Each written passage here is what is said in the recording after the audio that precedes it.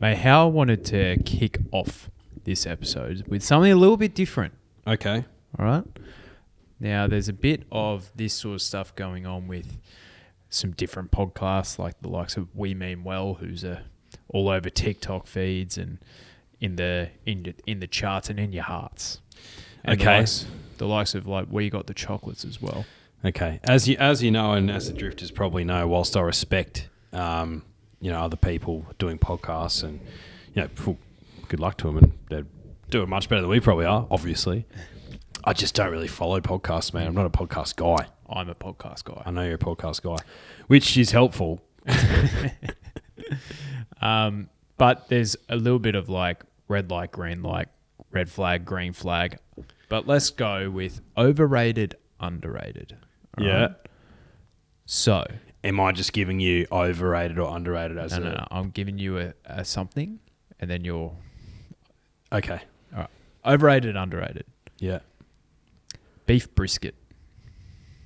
overrated. I had lunch right with the good people at my workplace on Monday. Yeah, Now, I'm not going to put my nose out because it was a free lunch. oh yeah, you can't complain when it's free. I can't. But this was some of like that. I find even when I've had good beef brisket, I put beef brisket and pulled pork in this same category. Mm. It's just the juice is not worth the squeeze at all. It was. It's just tasteless meat to me. Agreed. Yeah. Um, I find most of the time it is tasteless and dry. I've had some really good pulled pork. It was like lovely spices and really salty and really well done, um, juicy. But yeah, I, I'm not a yeah slow cooked meats and I.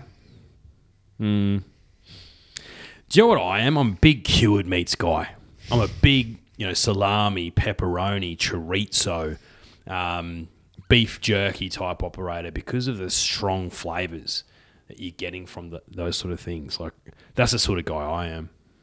Yeah, and um, I'm 100% in the same sort of boat.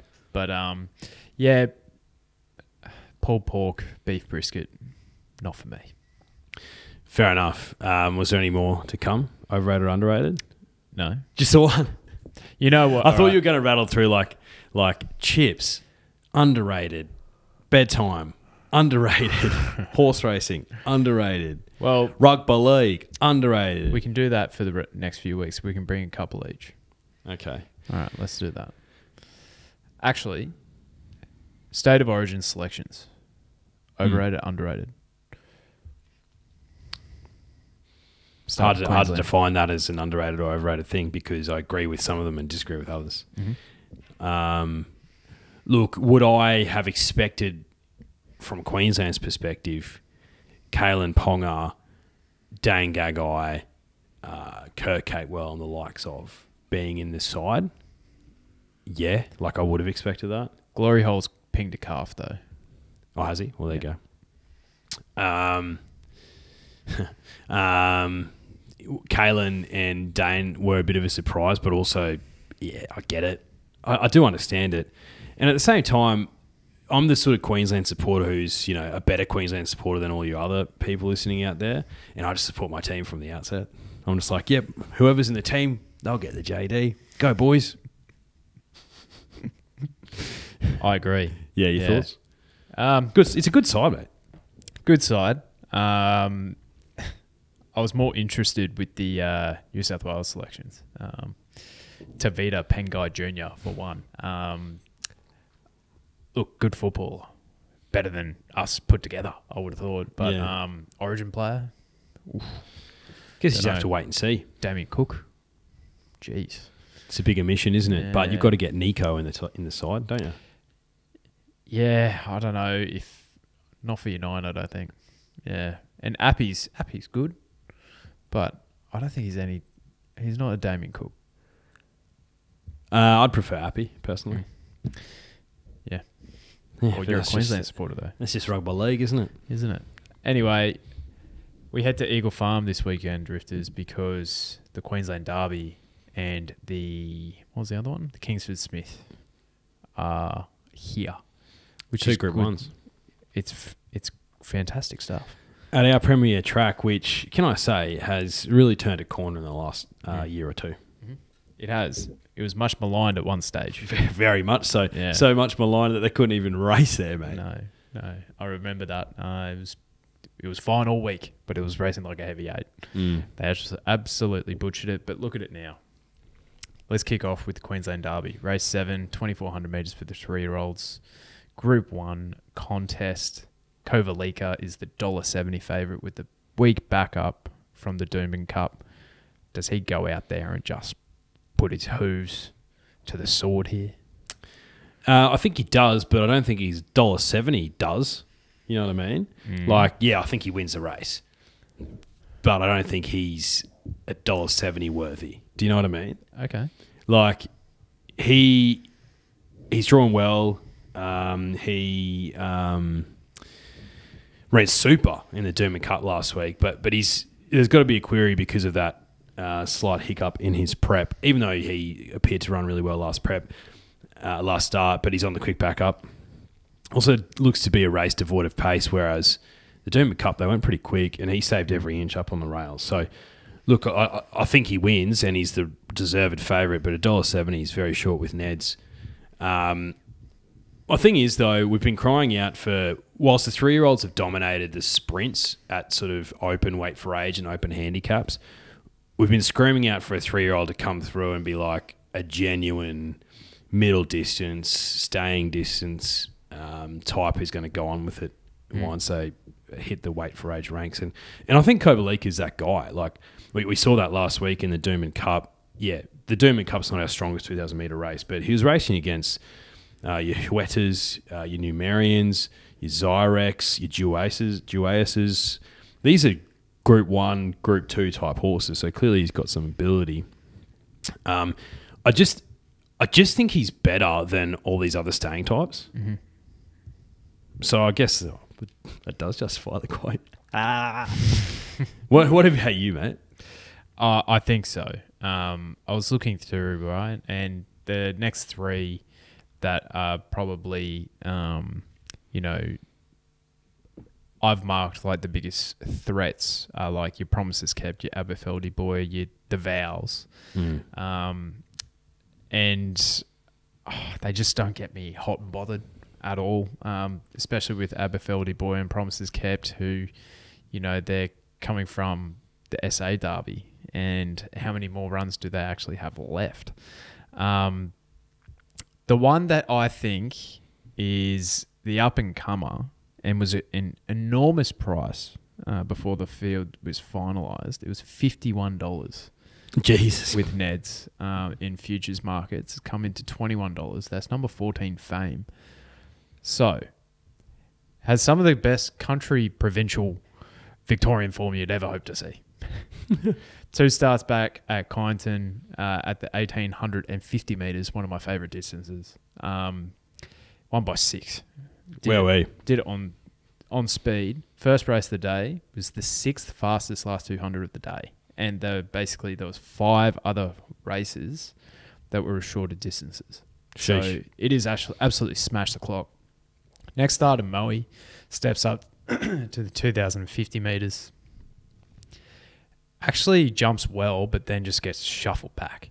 It They were coming for him. Oh, it was, and they, you know, the other jocks were basically going like, "I'm gonna get this thing beaten" because it got shuffled right back. It was basically second last, and it was a searching run out wide. The jock basically had nowhere else to go, and it's still won by three and a half.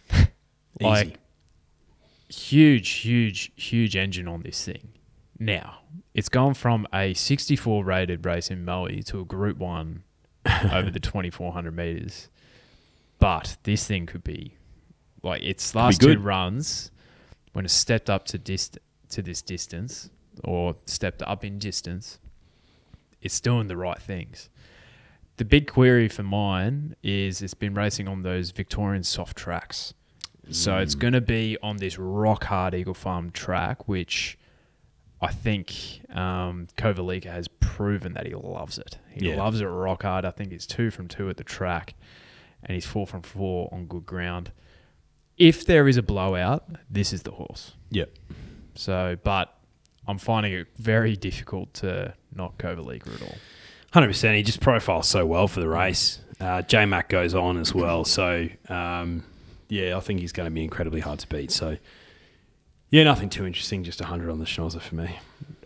Not, I can't, I can't give a spruik like that and not include him. So 90 bucks on Kovalica, and then I'll have a $10 Quinella between the two, Yeah, lovely. Kovalica and Fame. Bit of juice. Yeah, why not? Um, I literally have nothing to lose. Race eight is the Kingsford Smith Cup. So it's 1300 meter Group One. Interesting race, this one. There's a lot of horses that I have a lot of time for in this race. Mm. Eduardo has drawn perfectly out of barrier four, uh, four or five. Rothfire's outside him, and Emerald Kingdom will probably kick up underneath him. And then you have big boy gentleman Roy out wide, who he knows no other way. He'll be going forward in this race. Hundred percent. I think Polisipan will be right behind him. Um, yeah, there's a stack of speed in this race. Loads of pressure up front. I think they're gonna be going quick, mate. This is a cracking race. Yeah, it's a fantastic addition. Like I think, um, sure, not all of these are Group One horses, right? But I feel like it's still worthy of the tag Yes, because it is so competitive across the board. yes, And it is an important race for a lot of horses here. The likes of Valana, um, com, uh, not necessarily Converge anymore. Uh, yeah, Paulele as well. Like to get another wait for age Group One win on their CV, huge, huge, Huge amount at stake. a case of you as well. The the import, whilst it's done it overseas, they want to prove it over here. Um, so yeah, a huge race for a lot of horses, and yeah, I think it's stacked with chances. Um, think it, think about it. Uh, is your favourite? He's five dollars with the good people at Ned's. So you've got five dollars to field. There's a, a few in that sort of single digits um, sort of space, uh, and the rest are you know bigger odds than that. Think about it. He's he's done he's done what Giga Kick to start off his what Giga Kick did to start off his career. He it's like who is he beaten? Yeah, but but he just keeps winning, and then he's added a couple of sort of black type wins post that. Um, so I remember before the Everest, we were talking about like, Giga Kick. Yeah, he can't win this, despite the fact that he hadn't been beaten yet. Um, and then he comes out and yeah, ran a terrific race and, and, and beats a hot field in the Everest. So beware the horse that is effectively unbeaten. He's seven from eight. Um, think about it. Um, hasn't lost for a while. Um, but five dollars with Ned's, it's an okay price, but I'm, I'm probably looking around him. Um, I, I'd like to see it Yep. here. This is an acid test. Look, if he comes out and wins, like, okay, cool, that's awesome. And I'm still happy because we've got another good sprinting horse to add to our ranks. Uh, but I'm looking around him. Um, did you give him a closer look? I gave him an enormous look Hmm. uh, because I I had a look at this race, but I also had a look uh, at where he sits in the Stradbroke, and he's actually not si- sitting that Mm. well. No. So he probably actually needs to run pretty well here to guarantee a start. But he's also weighted pretty poorly in that race. Yeah. He's um, probably going to start with, I think he's got about, uh, he's 32nd in entry and he's got 54 kilos at the moment. Mm. He's actually not suited that well in No. that race. So this could actually be the grand final here. Um, if he'll probably get a start in the Stradbroke there and maybe start with 55 kilos. Yeah. Is 55 kilos with something down in the weights, like say, if she gets in the field as well, like a Opal Ridge, is that really gonna be get the job done? And like the likes of um, Af Cabin as well, with like 52. Gee, that's a that's a tough ask. Um, I think he is right in the game here. Mm. Barrier eight on the surface looks sticky, but three of them on the inside of him have drawn uh, the speed in the race, and then you've got the likes of the um, not the Inferno. You have a couple of back markers inside him as well. Shayu, the Inferno, um, a case of you uh, are all around him in the running. Yeah. And then you've got King of Sparta will go back. Yeah, exactly. So I think he'll actually get a really, really nice run. Uh, I could see him two back, maybe three back, one off the fence in that in that maybe third just that wave that comes in. I think he'll blend into the race beautifully. I think he's right in the game. Yes, your point about who he's beaten is extremely valid, but his, Yeah. his two runs against the uh, his hardest company to date are his most impressive wins. Yeah. So what what's saying that he can't do it again? Exactly, which which was why I sort of linked him to Giga a Kick because beware the beware the unbeaten horse with a horse like Think About It. Um, there's just so many so you thinks I get confused. Like think it over, think about it. Like it's just gee whiz. Um, yeah, I, I, I think he's definitely in with a shout, but I'm just I'm just going against him because there's some more proven performers here at Weight for Age. Yep. Um, and there's a, a few others that are in the market. Um, the likes of King of Sparta, the likes of Rothfire. I know you're a King of Sparta fan. What are your thoughts on his chances? Well, I think there's two winning chances in the race, and he's one of them. Um, knew it. so I think um, I think this horse is a 1400 meter horse. Now he has won four times at the 1200 meters, but I think his best distance is around this 1300 to 1400 meter distance. He's he just finds a couple a bit too sharp at that 1200, um, especially at this level. This is cherry right for him. Um, I don't think he's been in better career form uh, than than right now. Uh, barrier two is going to be difficult, but hopefully, uh, Chad can get him a little bit closer in the run. Uh, but Chad's never never missed in the Quinella when riding him. So um, Oh, there you go. and his last run of out of that victory stakes, Prince of Boom has franked the form. Um, and uh, or was it Golden Boom last week? Uh, it was Golden Boom, yeah. Uh, oh, see, you're getting confused about the thing about it. So, I'm getting, booms. I'm getting confused about the booms. But I think of those first four, which included Paulele as well, I think King of Sparta is the one that I want to take into this race. Yeah, it was a huge one. Huge run, so fair enough. Um, yeah, other ones in the market, Rothfire, he won last start.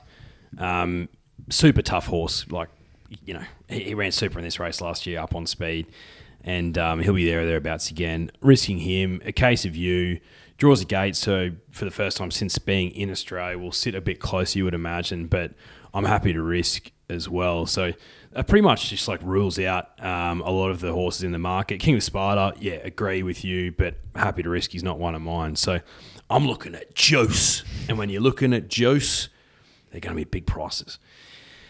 And the two Godolphin things, for me, like I'm not letting him go around without some of mine. So first, we'll touch on Valana. Yeah, he was disappointing last start.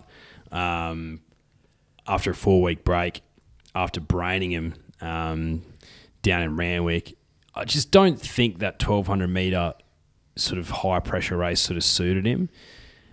I think he's a 1300, 1400 meter horse, and there's definitely some intent around him. He's still got his nuts. Um, and I think he'll sit probably just off the speed. I think he'll sit about midfield Valana. So at 11 bucks with Neds, he's going to be in my strategy. Um, talk about Paulele. So, yes, it's a bit of a meme that I love this horse, right? It's a bit of a meme. And sometimes he can put up an absolute stinker, Paulele.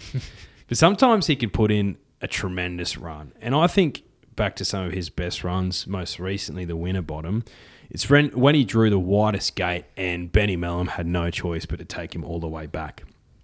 He's drawn the widest gate here effectively after emergencies, like like standard. but but Benny Melham will pretty much have excuse me, will pretty much have no choice but to send him to the back, ride him cold. Last start, he was sort of up close to the speed, and I just think when he's ridden there, he uses a bit too much energy to stay with him, and I think it actually dampens his brilliance at the end of a sprint. If he's ridden cold, and if there's a stack of pressure up early in this race, like I think there will be, I think with the Eagle Farm track, the dry deck, loads of pressure, rails true, he'll come round the outside and start screaming home like a freight train. I think he'll need every single inch of that 1300 meters to get over the top of him. So Paulele's my on toppy. Bit of a meme, but also like genuine about it. Uh, he's 12 bucks with Neds. The other two I'm going to have a little spec on. So I'm betting on four horses in this race. Even though I said to you last week, I was like, I'm just going to put 100 bucks on the schnoz of everything now. Um, there's two. Uh, Alpine Edge. So Alpine Edge won the Archer at big price last start, and he just couldn't get out for so long. And when he finally did, he just absolutely rocketed to the line. Drawn sticky, barrier 17. So um, I think he actually, yeah, so he's drawn outside place. He's not the, in the widest gate, but um, he'll have to go back too. And I think if there's a horse at big odds that's coming home like a freight train, it's going to be Alpine Edge. He actually still has his nuts, so there's probably some intent here too. And he's 51 bucks with Ned, so I'll have a little throw at the stumps. And the last one um, is a mare with her second start for the O'Day and Hoisted stable, and that's Shayu. Um, she's a bomb fresh. I think she's five from seven fresh. Um, first run with the stable was in the listed Sunshine Coast Cup. Um, 1400 meters right up her alley. She just stalked him and went absolutely bang, and she rated through the roof in that race. So kept on ice for this. Again, wants a race with a stack of pressure, wants a race with a dry deck, uh, plenty of room um, on Eagle Farm. She's 20 bucks with Ned. So I'm having a bit of a spec. I'm 40 Valana, 40 Paulele, 10 on Edge, 10 Shayu. It's well played by you. Just, just reading this race like a book. Watch none of my things finish in the top four. Uh, your point about Valana is very well found. So you might even come race day, you might even get double the price for him Mm. than compared to a horse like a Case of You. He was a length behind that horse, Yeah. and a Case of You was unlucky, had to dodge and weave. But Valana lost a plate in the run, Yeah. So there was there was excuses there, and he actually stuck on okay. So I think he's in the he's definitely he's probably my next best Yeah. after that. Um, I'm just keeping it somewhat simple. Uh, Fifty bucks, King of Sparta, and fifty bucks. Think about it. They're, they're the price where you can do that. Yeah, exactly. Yeah. And uh, I think think I'm a I'm I'm starting to be a believer about this horse. Think about it. So I Mm. think he might be my on top selection. Okay, there's a bit to get through. Let's go to race three, the Premier's Cup, 2400 meters, Group Three. Now, a friend of ours said that Serpentine's the best bet in Brisbane a few weeks ago, and he was right. That's his first win for a very long time, wasn't it? It was. Uh, and he knocked off the very short priced favourite, Calipore, who came out and won arrogantly next start um, in the chairman's handicap, which was a couple of weeks ago by the time that this race comes to fruition. Mm. Um, are you sticking with Serpentine? Yeah, because he's the obvious leader, and I think he can just do the exact same thing. I think he can just sit up the front and just slow down the pace and just put him away. Um, yeah, it'd be, it'd be hilarious. He doesn't win for like ten years and wins two on the on the trot. But yeah, Serpentine for me. Yeah. I didn't mind the look of Kukaracha. Mm, yeah. So Kukaracha was he snuck up on the rail in the uh, Wagga Cup, um, and I don't know if you saw in that race, but Lions Roar is back in other news. Lions was officially back. He is officially back. Um, 2,000 meters there. You look at his his prep. This looks almost like a target race for him. Mm. So, first up in a Doncaster prelude, he was beaten six lengths. Improved to only getting beaten three and a half. Next start over the mile. Stats up to the 2,000 meters, gets beaten half a length. I think he's cherry ripe here to run a very nice race over the 2400. Waller, J Mac, you know what it is. Bang bang. I would just I was hoping for more than four dollars eighty for the people at Nedso. It is Um, what it is. Now the Lord Mayor's Cup. So this is the race that big boy Roy won a year ago.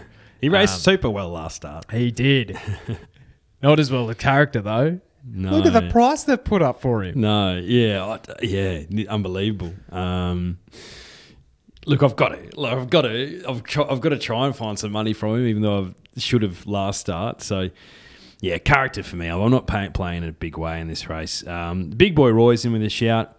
Um, new mandate. I think he can forgive the Hollindale run um, based on his Hawkesbury Cup form. Yeah, I think I think he's in with a shout too. So yeah, not not in a big way, but I'll, I'll have to back character. Yeah. I'd be shocked. I'd be shocked. Yeah, I'd have to. Mate, he started thirteen dollars against sixteen dollars here. They, they don't learn the bookies, do they? The Good people at Ned's. Uh, so I thought there was yeah the two that I would be playing around in this race is new mandate as you mentioned um, absolutely spank character in that Hawkesbury Cup and uh, he's five dollars fifty here as you said Hollindale's a forgive Big Boy Roy is the other one. He was sensational. I think this is his track. This is his distance. He just needs the Brisbane Winter Sun on his back, big boy. boy. yeah, and I'm seeing that Nash is on first time. One of the great gear changes. If I had glasses on, I'd be taking them off. Excuse me? yeah, Nash. Hot Nash. No, that's a jockey change. Yeah, first time. So I think Big Boy can get the job done for me. Because I was heartbroken last start, not as heartbroken as you. Fred Best uh, for the three year olds, 1400 meters, group three. Now, you have Yellow Brick versus Hawaii 5 but I don't think the chances stop there. Yeah, cracking race. It always is the Fred Best. Um, winning you're into the Stradbroke, and there's some handy horses here. Uh, look, I, I found Hawaii 5 last start, which is why I'm sort of leaning to him over Yellow Brick, but I really like both the horses. Yellow Brick's got the better story um, out of the Sears stable in T Bar on my passport.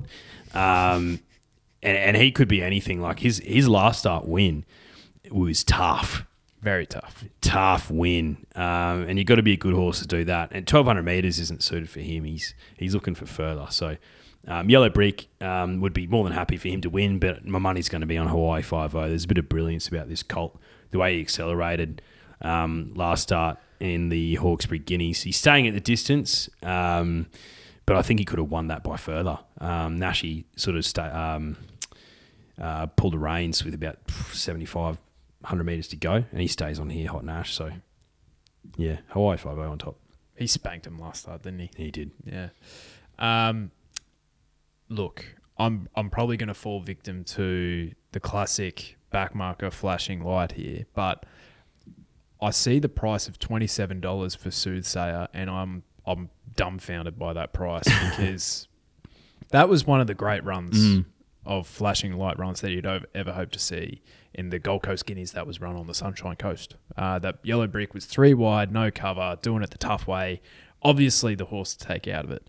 But two dollars seventy in a pretty competitive field, leave me out of that. Um, happy for him to win, but I'd much rather have a smaller Yeah. bet at the twenty-seven dollars on offer for Soothsayer, who's got a pretty good resume to date.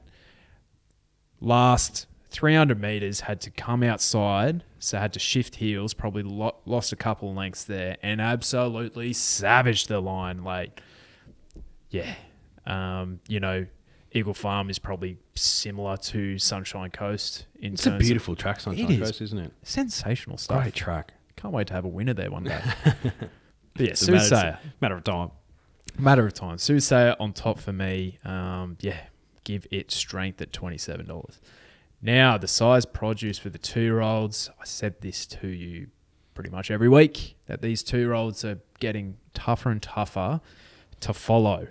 Have you nailed one down here? They are. So I'm looking for one who's coming left of field and he's wearing a pair of familiar silks um, from Team Rogerson, and that's Solidify, number nine, um, from New Zealand. So by the same sire as Sharp and Smart. Uh, word out of the Rogerson stable is that this guy's Sharp and Smart oh. 2.0. Okay. So um, you're getting five dollars at the moment with Neds. Um, should have checked, but I don't know what price he is at futures um, for the JJ. But if this thing is sharp and smart 2.0, whatever price you're getting now for the JJ is, is going to be bigger than what you get on the day. I'll tell you how much for free. So um, yeah, respect to the likes of Armed Forces and um, and the likes of um, Chris Chrysaor, Chrysaor, Chrysaor uh, who was great last start, um, uh, beating Namesake, who beat um, Methuselam, who's also a, a horse that the Waller Stable has a lot of time for. Um, but no, number nine, solidify for me. Mate, the toppy, Sofrado, uh, for me, that was a tough win. Mm, yeah, it was. Uh, poked through the middle of Appen Girl and Armed Forces, who I think Armed Forces had the peachiest run of all time. Um, step up 1400 meters probably does suit both of these horses. So, Mm. Sofrado for me, I think $8 is a bit of a big price considering that win last start, and it's because he started $26 that day. Fair. Um, danger for me is um, the little filly on the quick backup, and that's um, number 15, Zia. Um, out of the Waterhouse and Bott stable. She's definitely showing some ability, and she'll be up there on pace. So um, I think she's is she the favourite or is Quasay or about the same price? So yeah, yeah. yeah, Um, the other one, there is another one that I think could potentially be a JJ horse as well, and that is number eleven Snapback. Um, was a three dollar ish favorite at Gosford. Just never, never really got going. Uh, just kind of was going up and down one spot. Really keen to see how he responds to being in the Queensland sun and stepping out to fourteen hundred meters. it's just Might- different, isn't it? might be exactly what he needs. Let's finish things off here with the Helen Coughlan Stakes. Again, the last race on the program, Queensland showing the way. This needs to be the norm everywhere. I think. Absolutely. And I don't actually think you need 10 races on a card. No. Absolutely not. Um, I found this extremely difficult. It is. Um, I'm hoping it's an absolute fill up for Godolphin on Saturday. um, I was on Hellfest last start, uh, and she ran a really respectable eighth of 13.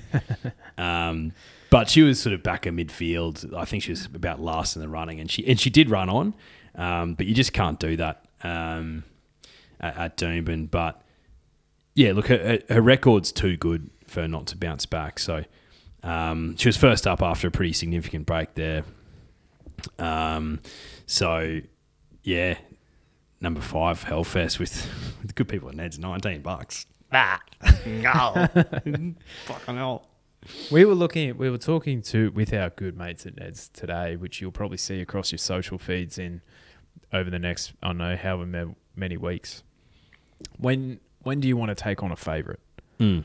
Number eight, Brooks Brooks Spire is a favourite that I want to take on. Oh, 100 percent. There, there was no way in hell I was ever going to back Brooks Spire in this no, race. um, because she's she's lightly raced over the last twelve months. Her good track form is abysmal Mm. for looking at, especially consider Eagle Farm's different gravy drifters. It is it is nearly the hardest track in Australia when it's a, Concrete. when it's a good track. Um, like last year, they moved the Doomben ten thousand to that track because it was bloody a heavy 20 at Doomben and it landed up being a soft five by the time the race came It was around. like misty, It was- misty rain, and it was a soft five. It was unbelievable. so it's got incredible drainage so they're gonna and it's been lovely just absolute crisp summer uh, summery feel of days uh, during the center uh, middle of the day here in winter in Brisbane It's perfect um, weather to go to the track, like because you can wear your jacket and you're not hot, no um, but it's also not cold. It's perfect. It's just right. It's like Goldilocks zone. it's the Goldilocks zone of weather. Um, but she's one from seven on good tracks. I think it's going to be even harder than that. So, yeah, sh I can put a line straight through her. The mare who I think is in sensational form is number 10, Extremist. Um, form around Antino, who is looking to get a run in the Kingsford Smith Cup. Um, she just doesn't know how to run a bad race. I think she is right in the game here, but my confidence is not sky high. Fair enough. That's all she wrote. That's it. That's it. We're just sticking in Brisbane for the rest of this season. Yeah, yeah. I'm I'm over Southern racing. I'm Yeah. over it. Uh, and why not? The the cards the card in at Eagle Farm this weekend is fantastic. Mate, I saw some footage from James Cummings himself, and he's like, it's full credit to the Brisbane Racing Club because they're putting on some very competitive races this year. They're some, you know, some good horses have hung around, and he's bloody right. He's right. It's it's the, the right amount of prize money to sort of lure, like, you know, not not necessarily like like you're not going to have your Anamoes, right? Um, but we did get Giga Kick, and you're not going to lure like the consistent Group One top liners to Queensland, but you're going to get Group One horses. So the, Absolutely. so the quality of the races is always going to be top notch. And I tell you what, you've got Sydney and Melbourne up here. I'd say Sydney's on top. Melbourne's a very close second. You've got a bit of a gap, but sitting very nicely in third on the podium. Yep. Bronze medal around their neck, just being like, yeah, look, we're happy to be here. Is Queensland. um, and then it's a bit of a gap to WA, I'd say, and then that's pretty much the only racing jurisdictions we have. Tasmania, Tas- Tassie, Darwin's under that. yeah, Uh, I think um, Ipswich Cup Day is under yeah, that. yeah, okay, um, yeah. Well, there you go. So that's a that's the um, that's the final field for racing jurisdictions in Australia. Yeah, so I can't wait to hopefully get out there on Saturday. Um, Yes, potentially at the track on Saturday, Yeah. drifters. So if you're heading there um, and you see our big noggins, particularly mine, Mm. massive, say good day. Yes, do do that. What I will say, bit of a different way to finish this. Um, go get your skin checked, drifters. Go go to the doctor, have a skin Ah, check. yeah, I forgot to ask you. Yeah, I went this afternoon. All all is fine. He Yeah. said, "Don't come back in two or three years," which I thought was casual. Two or three years in this in this harsh Queensland sun. yeah, That is very uh, very casual. I just have good Mediterranean genes. Did they check that weird one on your scrot? yeah, yeah. Good, because that one is Yeah. weird. It was just a piece of chalky. Been there since Easter. Uh, but yeah, go do that, drifters, uh, because I know like my partner included uh, hasn't been to get their skin checked in a while, and I think I was talking a bit to you about it as well. So do a bit of self care, go get your skin checked, and maybe even a general checkup with your doc. Why not? Yeah, good shit. All right, goodbye. See you, drifters.